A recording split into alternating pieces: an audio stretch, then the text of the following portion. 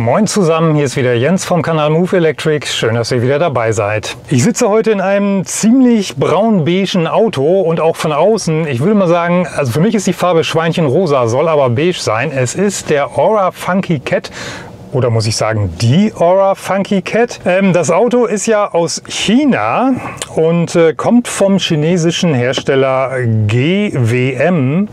Ja, was ist GWM? Great Wall Motors, also die Motoren der großen Mauer auf Deutsch übersetzt.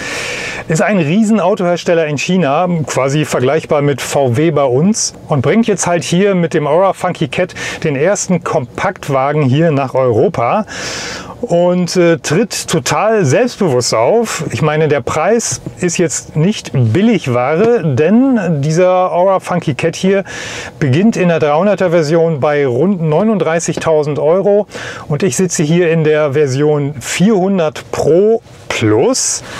Also nochmal ein Plus zum Pro und das ist sozusagen das höchste der Gefühle, was es hier gibt, kostet rund 47.950 abzüglich Förderung natürlich noch. Aber das sind keine Billigpreise. Der Wagen bietet aber auch äh, ja, im Prinzip eine Vollausstattung. Also alles, was man sich wünschen kann, ist hier drin und auch optisch und von den Materialien. Ja, ich würde sagen, da kann sich der ein oder andere Hersteller hierzulande doch vielleicht mal was abgucken auch von der Tatsache, wie mutig die hier sind mit den Farben und auch mit der ganzen Designsprache. Das schauen wir uns heute natürlich alles mal an. Natürlich auch den Verbrauch auf meiner Reichweitenstrecke Bremen-Bremerhaven und zurück. Das sind ja die 130 Kilometer bei Tempo 130. Das wird ein sehr spannender Test heute. Wir haben mal wieder ein bisschen Schmuddelwetter. Es ist natürlich mal wieder auch noch Regen angesagt. Mal sehen, ob ich den noch mitnehme bei meiner Testfahrt gleich. Also wird sehr spannend, deswegen unbedingt dranbleiben.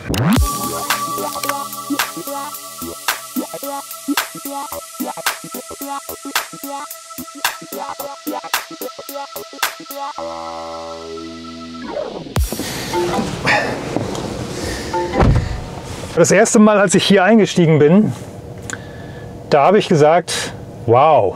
Also ganz ehrlich, man kommt hier rein und hat das Gefühl, man sitzt doch in einem sehr luxuriösen Auto, zumindest von der Optik als erstes. Also die ganzen Materialien, die hier verbaut sind, es ist teilweise weich, teilweise hart, Plastik, wobei na, so richtig hart ist es hier auch nicht. Und es gibt hier so Lederimitationen vom Feinsten, also teilweise so Wildlederimitationen mit abgesteppten Kreuzmuster oder, oder Quadratmuster. Hier so beige Steppnähte, auch hier am Armaturenbrett. Das ist natürlich Kunststoff, aber es sieht so aus und fühlt sich so ein bisschen an wie Wildleder, auch mit so einer beigen Steppung hier. Und in diesem Wildleder ist dann die Lüftung eingelassen. Das Lenkrad zweifarbig, wieder mit so einem braunen Leder und so einem beigen Leder. Das ist, glaube ich, das jetzt echtes Leder ist. Ich kann das euch nicht sagen. Aber auch die Sitze aus dem Material Kunstleder sind äh, perforiert und so, so Nappa-Optik. Also Leute, das sieht alles extrem gut aus. Und diese Farbgebung hier im Inneren ist abgestimmt auf die, auf die Farbgebung im Äußeren. Hier haben wir wieder eine Mittelkonsole, die ist aber doch sehr reduziert. Wir haben hier sehr viel Luftraum. Das ist aber alles Hartplastik. Zwei USB-Anschlüsse, allerdings USB 2. Hallo, in welchem Jahrhundert leben wir denn? Äh, dann haben wir hier den Gangwahlhebel, das ist so ein Drehknopf, äh, Parkbremse, induktive Ladeschale, noch so eine kleine Ablage und eine Mittelarmlehne, die man aufklappen kann. Da ist auch noch ein Fach drin. Die Gurte sind so ein bisschen in dieser Wagenfarbe, also dieses Beige. Allerdings kann man die nicht in der Höhe verstellen. Das ist ein bisschen schade. Für große Leute möglicherweise ein Minuspunkt. Wir haben hier Totwinkelwarner, aktiver Spurhalteassistent, adaptiver Tempomat, Querverkehrswarner, Kollisionsverhinderer, Aufmerksamkeitsassistent. Wir haben hier belüftete und beheizte Sitze. Also wirklich in der Klasse, wo findet man das? Wir haben hier ein Panoramaschiebedach. Also alles, was man sich nur wünschen kann, ist hier drin. Es ist wirklich der Wahnsinn. Und äh, der einzige Haken bei der Sache ist bei diesem Elektroauto die Ladeleistung. Ja, Ladeleistung, da, haben die, da sind die Chinesen immer irgendwie geizig. Alles packen sie hier rein, aber bei der Ladeleistung, da knapsen sie rum. Das ist ja schon beim BYD Atto 3 so gewesen. Äh, das ist bei diversen MGs so, außer dem MG4 natürlich. Und das ist auch hier leider beim oder bei der Aura Cat so. Wir haben hier einen 63 Kilowattstunden Akku brutto. Netto sind nutzbar so rund 59 Kilowattstunden. Und die Ladeleistung an DC, am Schnelllader, die ist hier nur 67 kW. Ja, also das ist doch echt verdammt mickrig. Und ich hoffe, dass sie da noch mal ein bisschen Gas geben in Zukunft mit irgendwelchen Software-Updates, denn natürlich kann die Aura Cat auch Software-Updates over the air.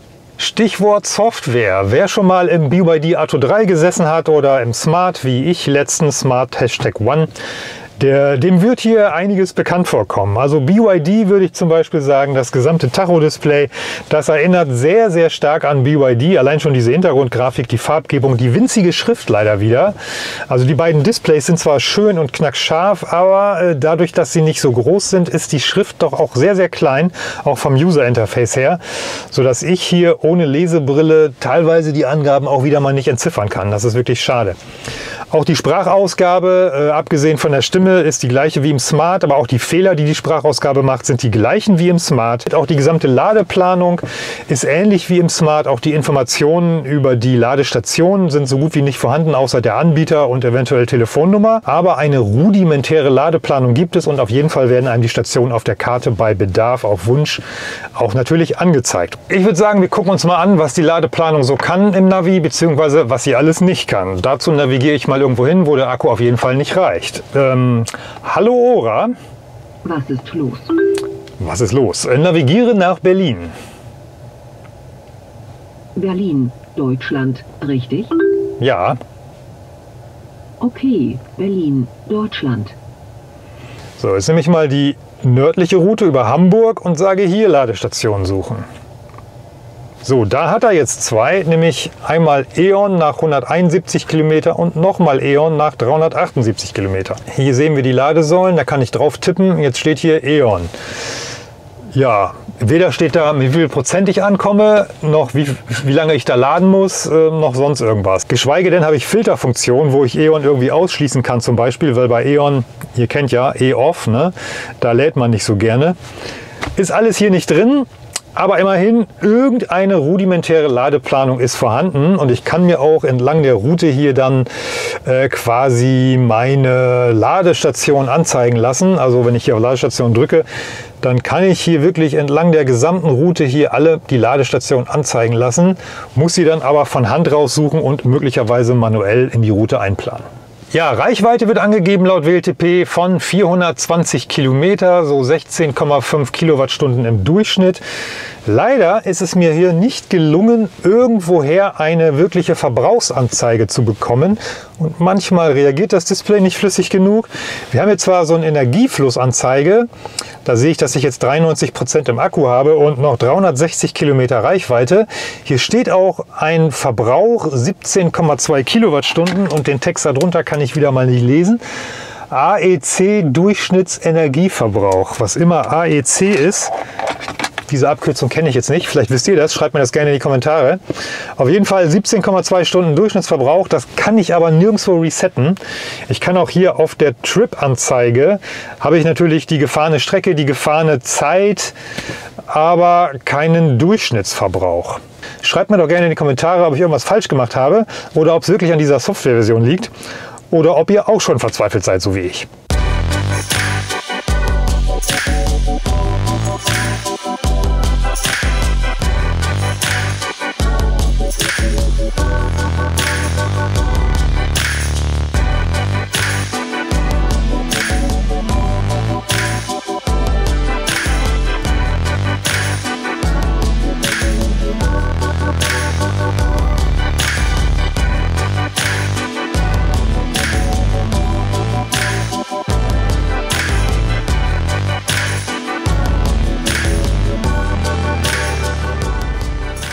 Ja, der Kofferraum. Der Kofferraum ist ein bisschen das Sorgenkind des Aura Cat. Der ist nämlich nur 228 äh, Liter groß.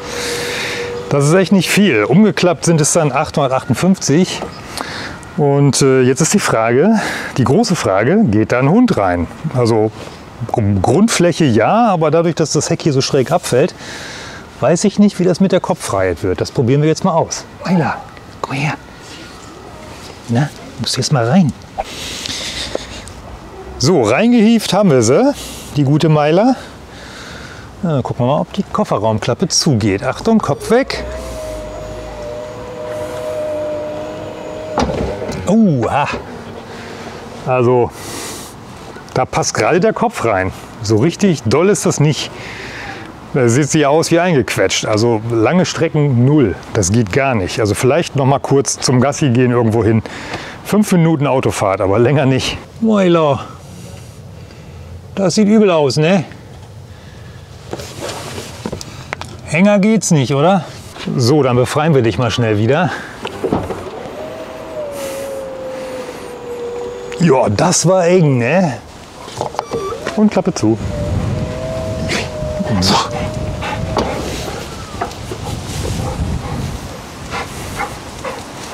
Ja, dann sind wir ja im Prinzip startklar. Wir haben wie gesagt 93 Prozent, 360 Kilometer Reichweite. Jetzt würde ich sagen, geht's mal los auf die Reichweitenstrecke. Ich bin gespannt und pünktlich hat es jetzt natürlich auch angefangen zu nieseln.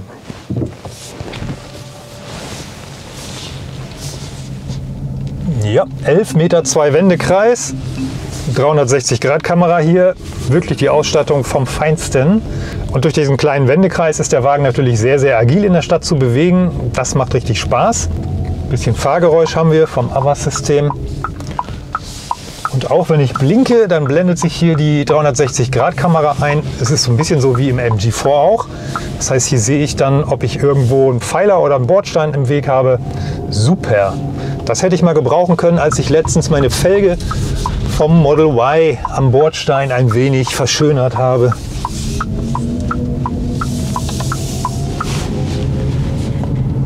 Ja, Reifengeräusche sind ein bisschen laut, sind aber noch Sommerreifen drauf hier. Das hört man jetzt auf diesem Belag. Auch die Gullideckel sind deutlich zu hören. Jo. Er ist auch nicht so wahnsinnig komfortabel gefedert, eher so ein bisschen sportlicher. Aber das passt irgendwie zu diesem Wagen, finde ich. Und wir fahren natürlich im Normalmodus, gibt auch noch Eco und Sport. Rekuperation kann man auch einstellen, aber nicht über Pedals, sondern das muss man dann im Menü machen. Das habe ich jetzt mal auf One Pedal Driving eingestellt oder ein Pedal fahren, wie es übersetzt wurde. Da werde ich jetzt mal bremsen. Hier hinter mir ist keiner. Achtung. Ja, er verzögert und kommt bis zum Stillstand. Jawohl, das funktioniert. Ja, also ist wirklich auffällig. Der Wagen ist doch relativ straff ausgelegt hier vom Fahrwerk. Das merke ich auf dieser blöden, hubbeligen Strecke hier echt wirklich deutlich. Upsala! Jo, äh, bei nasser Straße, so wie heute, da kommt der Frontantrieb überhaupt nicht zurecht. Ich meine, wir haben hier 100, äh, was haben wir, 126 kW, 171 PS Leistung. Das beschleunigt ihn auf trockener Fahrbahn zumindest äh, auf, äh, in 8,2 Sekunden auf Tempo 100. Aber jetzt heute, wo es so nass ist, da drehen die Räder wirklich durch, sobald man auch nur das Gaspedal ein bisschen kitzelt. Ich bin hier im Normalmodus, nicht mal Sport. Also das ist halt der Nachteil dieses Frontantriebs. Da kommt die Traktion einfach nicht auf die Straße. Das können wir ja gleich nochmal austesten. Hier ist schon wieder die nächste rote Ampel. Ah, ja, er geht wieder weg. Sobald ich nur ein bisschen mehr Gas gebe. Aber gut, es reicht immer noch, um als erster wegzufahren hier von der Ampel. so, jetzt sind wir gleich auf der Autobahn. Ähm, wir haben es jetzt äh, temperaturmäßig so 17 Grad. Und noch hat der Regen nicht wirklich eingesetzt, es nieselt nur ein bisschen. Aber soll ja noch ein bisschen doller werden, da bin ich mal gespannt.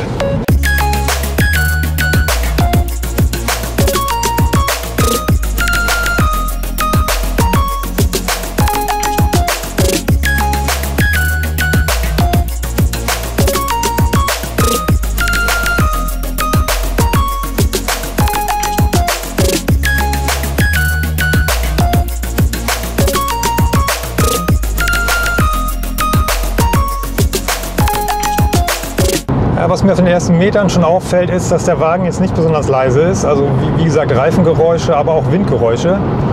Wir haben es auch ein bisschen windig heute. Wind kommt so schräg von vorne und an den Scheiben hier, da hört man das doch ganz schön pusten. Das fällt total auf, jetzt bei 120. Was auch ein bisschen blöd ist und mich stört, ist, dass der Blinker, wenn ich ihn betätige, nicht immer wieder zurückrastet. Also 50 Prozent der Fälle, zumindest geht es mir so, dass ich den Blinker dann äh, wieder antippen muss. Er rastet ja eh nicht ein, sondern man drückt ihn einmal durch und dann geht er wieder an die normale Stellung und dann blinkt es halt. Und äh, er hört nicht von alleine auf, wenn ich die Spur wechsle zum Beispiel. Äh, manchmal macht er es, er hört auf und manchmal hört er nicht mehr auf und dann muss man ihn wieder antippen.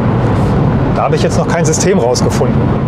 Sprachsteuerung hat der Aura Cat natürlich auch. Äh, das Besondere dabei ist, man kann dem Wagen sogar einen Namen geben und dann hört die Sprachsteuerung auf diesen Namen oder diesen Begriff. Also normalerweise aktiviere ich die Sprachsteuerung mit Hello Aura. Dann kann ich zum Beispiel sagen Hello Herbert oder Günther oder Harald oder Oma oder Elisabeth oder wie bei der Enterprise Hello Computer. Finde ich irgendwie cool. Äh, auf jeden Fall kann man das hier konfigurieren. Das ist richtig klasse, habe ich sowohl noch bei keinem anderen Auto gesehen. Und typisch für asiatische Hersteller redet der Wagen halt sehr viel. Das kann man in ganz vielen Parametern immer abschalten. Auch diese ganze Aufmerksamkeitsgeschichte hier mit dieser Kamera hier vorne, die einen ständig beobachtet und sobald man irgendwie nicht auf die Straße guckt oder so, dann wird man da irgendwie darauf hingewiesen. Das kann man alles deaktivieren Nachteil, das wird nicht gespeichert. Also man muss es, wenn man das nicht haben will, bei jeder Fahrt neu machen. Und das ist schon richtig nervig. Also da sollte man vielleicht noch mal nachbessern in der Software, dass das zumindest im Profil gespeichert wird. Aber wirklich, Assistenzsysteme, Spurhalteassistent, Tempomat, auch hier Totwinkelwarner, funktionieren einwandfrei. Habe ich bis jetzt fast nichts zu meckern.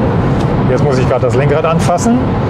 Nee, wirklich. Und wenn er die Spur nicht mehr erkennt, weil die Linien verschwinden, also die braucht er zwingend, dann werde ich darauf hingewiesen mit einer Sprachmeldung und es wird auch was im Display eingeblendet. Äh, diese Sprachmeldung heißt irgendwie Transversalerkennung äh, deaktiviert oder so. Von der Wortwahl ein wenig nerdisch, würde ich mal sagen. Aber ich weiß, was gemeint ist. Also das funktioniert auch super. Es gibt halt auch Autos, die schalten einfach ab und sagen nichts. Also das war doch beim Volvo so, dass die Spurhaltung dann einfach so deaktiviert wurde. Und ich habe das gar nicht mitgekriegt, außer durch ein winziges Pling und eine winzige Meldung auf dem Display. Also das ist richtig gut. So, jetzt stellen wir den Tempomat mal auf 130. Wenn es denn geht.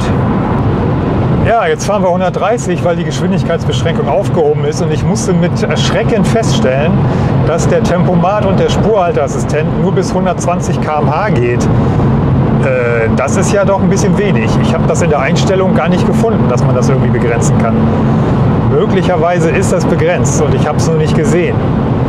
Aber im Moment kann ich das während der Fahrt ja nicht umstellen. Also muss ich jetzt damit leben dass ich hier bei 130 von Hand lenken und auch von Hand bremsen muss. Das ist natürlich scheiße, macht das Ganze nicht so bequem.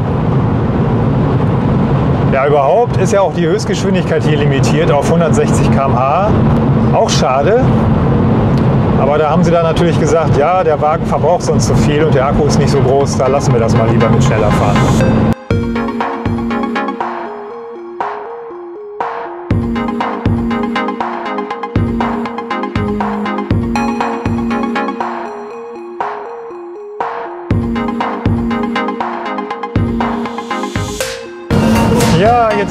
Soweit. Jetzt fängt der Regen an. Juhu, was habe ich ihn vermisst. Aber ich muss sagen, bei Tempo 130 ist es hier wirklich ein bisschen laut in dem Auto. Also das kenne ich von anderen Elektroautos deutlich leiser. Da ist der Aura Cat leider nicht so besonders gedämmt hier. Ja, zumindest die Reichweitenanzeige, die scheint auch relativ gut zu sein. Wir sind jetzt 32 Kilometer gefahren. Wir haben jetzt noch 325 Kilometer Reichweite. Also 35 Kilometer verloren bei 32 Kilometer gefahren. Das geht ja noch. Preislich sind die Chinesen ja wie gesagt sehr, sehr selbstbewusst hier mit dem Auto. Diese Version 400 Pro Plus, äh, was war das? 47.950 ungefähr. Das ist ja nicht gerade günstig und damit ist der Wagen im Prinzip noch 5000 Euro teurer als ein ähnlich ausgestatteter Cupra Born zum Beispiel. Was die Wartung angeht, äh, da muss man sich bei Ora zumindest keine Sorgen machen, denn die Wartung übernehmen im Prinzip alle Mitsubishi-Händler. Den Wagen habe ich hier auch von einem Mitsubishi-Händler aus Stur, Autohaus Ploys. Vielen Dank nochmal, dass ich den Wagen heute fahren darf den ganzen Tag. Äh, das ist wirklich toll, dass ihr mir den zur Verfügung stellt. Und äh, da findet dann, wie gesagt, eben auch der Service statt. Also da muss man sich zumindest bei diesem chinesischen Hersteller keine Sorgen machen. Wo wir gerade von Preisen reden, ich bin gerade dabei, für zu Hause mir was zu überlegen für unseren Ladestrom, für unsere beiden E-Autos, die wir haben. Und da bin ich auf Tibber aufmerksam geworden. Ich weiß nicht, ob ihr Tibber kennt. Das ist ein skandinavischer Stromanbieter, also mehr oder weniger ein digitaler Stromanbieter, weil dort läuft alles digital. Und äh, die bieten einen dynamischen Stromtarif. Das bedeutet, ihr zahlt da keinen festen Tarif, also irgendwie feste Cent pro Kilowattstunde, sondern das Ganze richtet sich nach den Preisen der europäischen Strombörse. Und tatsächlich verdient Tibber also eigentlich nichts am Strom, sondern nur an der Grundgebühr. Die beträgt nämlich 4,49 Euro für euch pro Monat. Und der Strom wird im Prinzip so weiter berechnet, wie die Preise an der europäischen Strombörse sind, zuzüglich den dort anfallenden Steuern und Gebühren. Und ihr habt mit der Tibber-App sogar Vorhersagen für den nächsten Tag, also wie, wird, wie werden die Stromkosten am nächsten Tag sich entwickeln.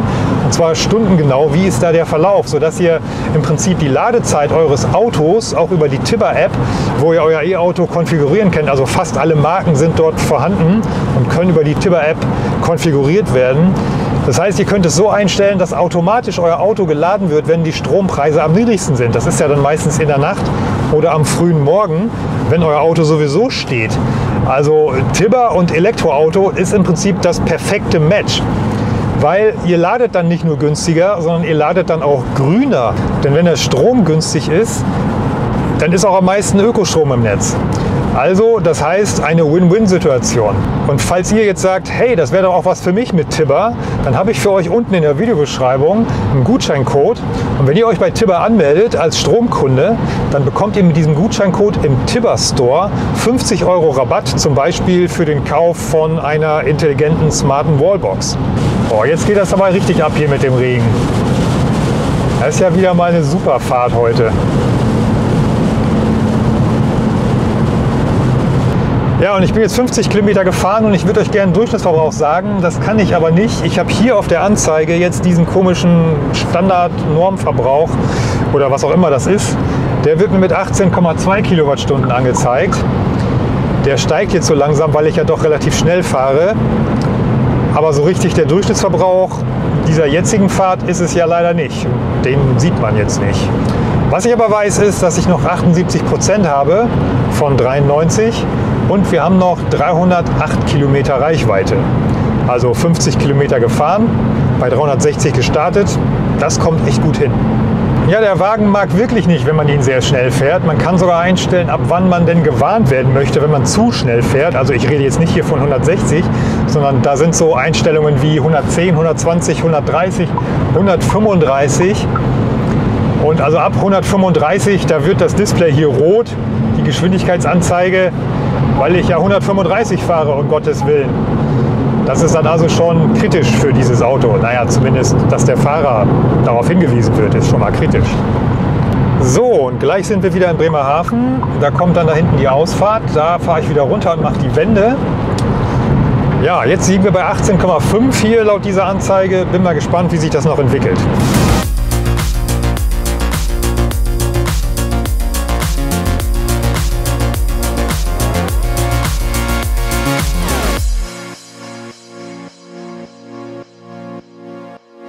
Ja, da wären wir also am Wendepunkt. 63 Kilometer zeigt mir hier der Tacho an. Normalerweise sind es so 64 Kilometer, also der zeigt jetzt einen Kilometer weniger an. Wir haben noch 74 Prozent im Akku. 18,3 steht jetzt hier auf der Verbrauchsanzeige von der ich nicht genau weiß, was sie wirklich bedeutet. Und wir haben noch 292 Kilometer Restreichweite. Ja, passt doch ganz gut. Jo, und jetzt haben wir die Wende gemacht und jetzt geht es wieder zurück. Und 18,3, naja, es hat sehr viel geregnet und wir hatten doch an, einiges an Wind. Es ist jetzt nicht berauschend, aber es ist jetzt auch nicht kritisch.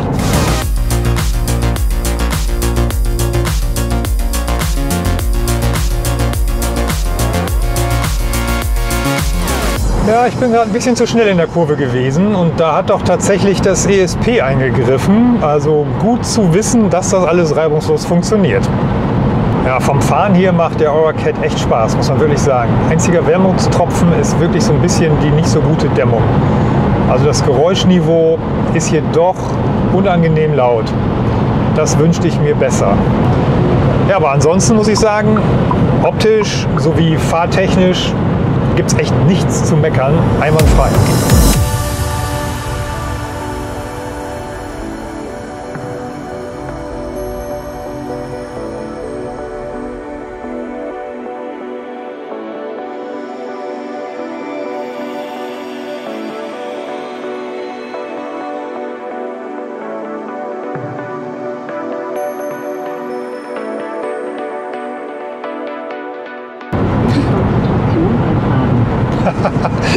Jetzt sagte das Navi gerade zu mir, beziehungsweise der Computer, seien Sie nicht geistesabwesend, bitte Konzentration beim Fahren.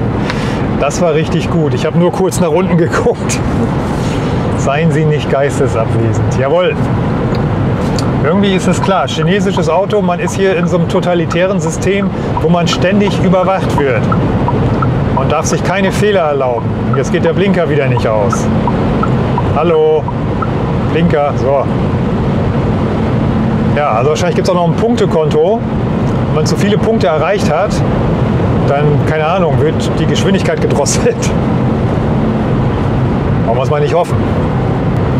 So, wir haben jetzt 30% Akku verbraucht. Wir sind bei 63 und wir haben 90 Kilometer gefahren. Ja, 3 mal 9, 270 und dann haben wir noch 10% Rest, also nochmal 27. Also knapp die 300 Kilometer möglich hier mit dem Akku. Die 360, wie jetzt anfangs angezeigt, sind es nicht, weil das war ja auch nicht Autobahngeschwindigkeit vermutlich, sondern eher so Stadtverkehr, Landstraße, Mix. Jetzt auf der Autobahn, da zeigt mir die Verbrauchsanzeige hier auch 20,5 an inzwischen. Ist also wieder deutlich hochgegangen. Klar, wir haben immer noch ziemlichen Regen und auch jetzt Gegenwind. Das macht sich bemerkbar. Und äh, ja, 130 ist sowieso nicht seine Lieblingsgeschwindigkeit. Allein auch schon von der Lautstärke hier drin. Leider gibt es hier beim Oracat übrigens keine Anhängeroption. Zumindest wüsste ich nicht, wo man die konfigurieren sollte. Das heißt, wenn ihr den Wagen habt und dann vielleicht mal einen kleinen Anhänger ziehen wollt, irgendwas wegbringen oder so, ja, hier geht es leider nicht. Vielleicht kommt das ja noch irgendwann als Update. Aber ich habe mir heute wieder so ein typisches Move Electric Rainmaker Wetter ausgesucht. Ne? Letzten Tage war es immer wunderbares, trockenes Wetter, sogar sonnig und warm. Und heute, jetzt ist es nur noch 13 Grad in dem Regen und es schüttet und schüttet. Naja, also völlig vergleichbar der Test damit. Ja, was so ein bisschen ungünstig ist hier, ist äh, die Entfernung der Displays und die etwas kleinen Symbole hier und natürlich auch die kleine Schrift für meine Augen. Aber auch wenn man auf dem Display was bedienen möchte, auch am Navi, dann muss man sich nach vorne beugen, weil man sonst eigentlich gar nicht rankommt. Es ist alles zu weit weg und die Symbole sind auch noch sehr klein. Ähm, hier an der Seite werden sie auch noch durch das Lenkrad verdeckt oder durch meine Hand, sodass ich sie gar nicht sehen kann, wo welches Symbol ist. Also das ist ergonomisch halt nicht so gut gemacht, finde ich. Irgendwie müssten die Displays näher am Fahrer sein und auch vielleicht ein bisschen größer. Haben ja auch irgendwie so zwei Zentimeter Rand. Das sieht auch nicht so toll aus. Also da hätten sie den ein bisschen größere Bilddiagonale spendieren sollen. Aber es ist wirklich so, dass das Wetter jetzt noch schlechter geworden ist auf der Rücktour. Also so richtig Worst-Case-Szenario heute wieder.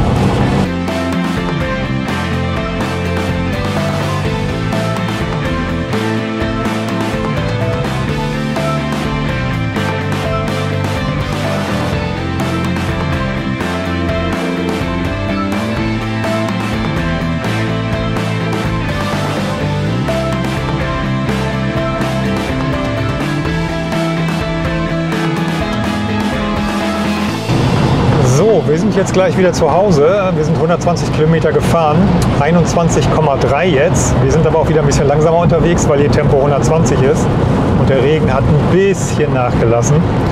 Gleich fahren wir also von der Autobahn runter, noch ein bisschen durch die Stadt und Tempo 30 Zone und dann rechnen wir zu Hause ab, was wir auf dem Tacho stehen haben. Da bin ich mal gespannt.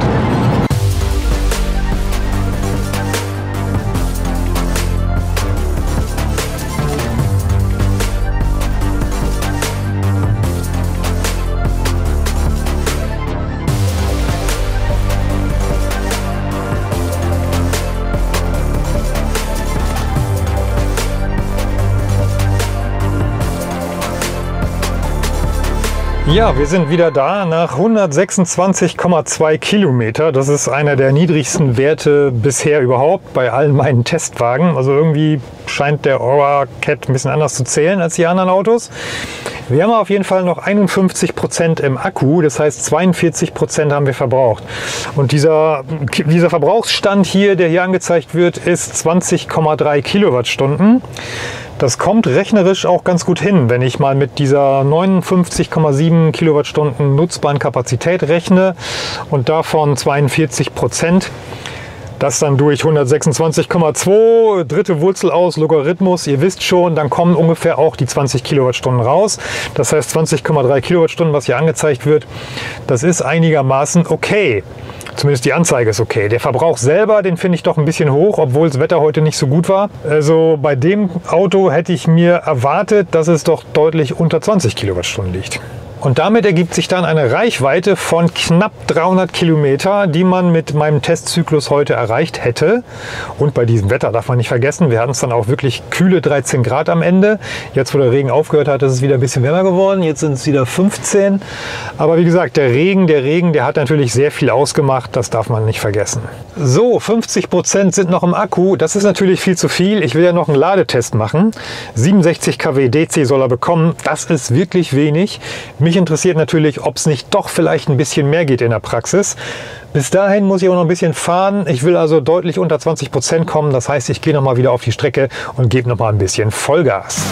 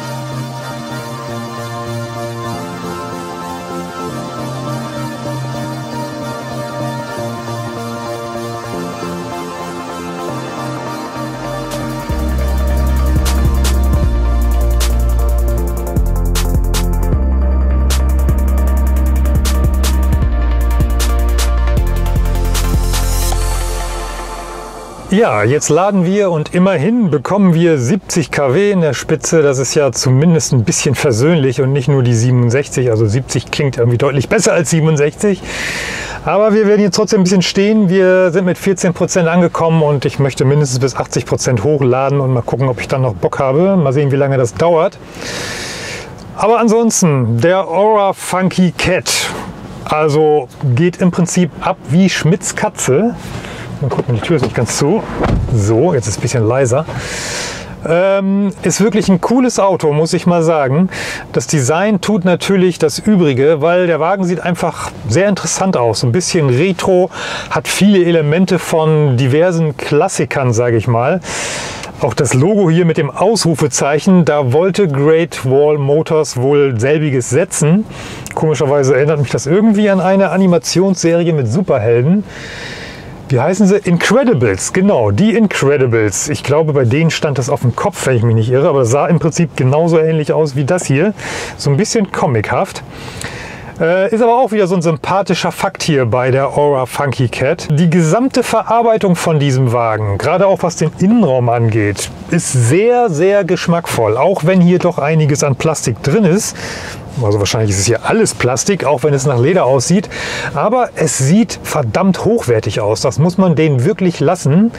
Leider hat der Wagen ähm, aufgrund seiner doch recht üppigen Performance, äh, wobei 126 kW ist jetzt nicht die Welt, aber durch den Frontantrieb kriegt man das nicht wirklich auf die Straße. Gerade wenn die Straße nass ist, so wie heute. Beim bisschen Gas geben, da drehen die Räder massiv durch. Also das ist richtig unschön und das schafft auch jetzt nicht gerade ein Sicherheitsgefühl. Sicherheitsgefühl. Wenngleich alle anderen Assistenzsysteme super funktionieren. Also ich hatte keine Probleme mit dem Tempomat, keine Probleme mit dem Spurhaltassistent, Spurwechsel, alles klappte hervorragend. Totwinkelwarner klappte hervorragend. Das Gegängele, was man so von asiatischen Autos so kennt, war auch hier in diesem Wagen. Ständig diese Ermahnung, man möge doch bitte aufmerksam sein oder was heißt es hier? Seien Sie nicht geistesabwesend, also lustige Sprachansagen. Das ist halt irgendwie so, das soll ja sogar EU-Standard werden, dass man so eine Warnung oder so ein so einen Aufmerksamkeitsassistenten quasi als Pflicht in den Autos eingebaut haben muss. Wobei ich nicht finde, dass er ständig einen akustisch mit einer Stimme warnen müsste. Es würde mir irgendwie eine Anzeige reichen. Das kann man hier aber alles sehr gut konfigurieren. In der Software, da kann man sehr viel von dem nervigen Gesabbel des Autos entweder abstellen oder sehr leise bis auf Null Lautstärke drehen. Und dann ist es hier doch richtig gut auszuhalten. Dumm nur, dass vieles davon jedes Mal sich wieder neu auf Default-Werte setzt, wenn man den Wagen für längere Zeit verlässt und morgens wieder einsteigt. Dann muss man das alles wieder von vorne einstellen.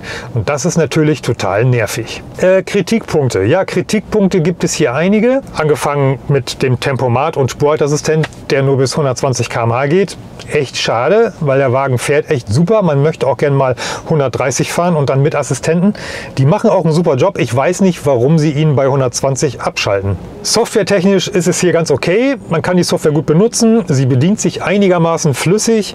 Das Navigationssystem ist so lala. Ladeplanung äh, so gut wie nicht vorhanden. Er sagt einem zwar, dass man Ladestops machen muss, aber naja, so eine richtige Ladeplanung ist es noch nicht. Ich hoffe mal, das kommt über ein Software-Update. Bedienbarkeit ist für mich auch so, so mittelmäßig, weil ich komme mit der Hand nicht dran. Ich muss mich nach vorne vorbeugen. Die Icons sind sehr klein.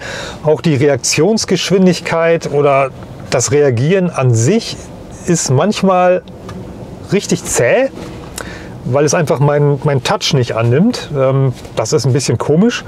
Und wie gesagt, Icons zu klein, Schrift kann ich nicht lesen. Also das müsste irgendwie besser sein. Die Bildschirme müssten ein bisschen größer sein, was ja von diesem Panel hier eigentlich gehen müsste, weil da irgendwie noch zwei Zentimeter Rand drum ist. Müssten sie nur die, die Bildschirme vergrößern. Dieser Verbrauch hier heute war zwar ein bisschen hoch, aber wir hatten auch wirklich mieses Regenwetter. Und ich habe das ja gerade gemerkt bei meiner Vollgasfahrt, wobei ich nicht ständig Vollgas fahren konnte, aber ich bin ungefähr noch so 90 Kilometer gefahren und wirklich Vollstoff. Und da lag ich hier bei dieser Anzeige so auf 22,2 im Mittel. Das ist doch eigentlich bei der Geschwindigkeit, die ich gefahren bin, ganz guter Wert. Und wie gesagt, ich bin hier mit 14 Prozent angekommen. Also wenn man normal fährt, Tempomat zum Beispiel 120, dann sind die 300 Kilometer auf der Autobahn durchaus drin. Aber der größte Kritikpunkt ist und bleibt natürlich die langsame Ladeleistung, auch wenn 70 kW sind. Aber man steht hier wirklich ohne Ende, wenn man wieder auf 80 Prozent oder sogar 85 Prozent hochladen möchte. Das geht heute einfach nicht mehr. Dieser Wagen ist einfach nicht nur für die Stadt, das ist einfach auch ein super Langstreckenauto, weil er fährt wirklich tipptopp und verbraucht auch gar nicht mehr so viel. Und äh, diese 300 Kilometer, das ist ja auch ein Wert, damit möchte man auch gerne mal irgendwo länger unterwegs sein. Und dann diese Ladezeit äh, oder diese Ladegeschwindigkeit am Schnelllader, das ist heute ein absolutes No-Go mit einem 60 Kilowattstunden Akku. Da muss die Ladeleistung also auf jeden Fall 100 kW plus X betragen. Alles andere ist einfach Schnee von gestern. Schreibt mir doch gerne mal in die Kommentare, was ihr jetzt so vom Aura Funky Cat haltet nach meinem Test. Oder vielleicht kennt ihr den Wagen ja schon oder fahrt ihn selber. Habt ihr da Erfahrung, positiv oder negativ, dann schreibt es mir gerne unten rein. Ich bin gespannt, was ihr dazu sagt. Ja, das war mein Test vom Aura Funky Cat heute. Ich hoffe, es hat euch gefallen. Wenn ja, dann gebt mir einen Daumen nach oben. Und falls ihr es noch nicht gemacht habt, abonniert gerne meinen Kanal. Ihr wisst ja, YouTube-Abos, immer kostenlos, aber niemals umsonst. Dann sehen wir uns hoffentlich beim nächsten Video. Würde mich freuen, wenn ihr wieder dabei seid. Bis dahin, macht's gut. Ciao.